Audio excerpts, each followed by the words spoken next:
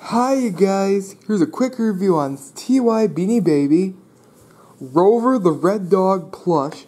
Now, this was released in 1996, so almost 25 years ago. And here's the hang tag, the back of the hang tag, the tush tag, the back. Boom. 1996. Copyright 1996. Ty Inc. Oakbrook, Illinois, U- United States. USA. Oh, USA, actually. Anyways, here we go. The eyes, the nose.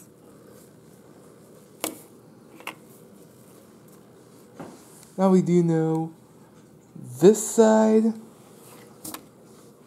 the other side, the tail. There it is this side, the back, the other side. There it is, like this, and the ears are floppy and cute, and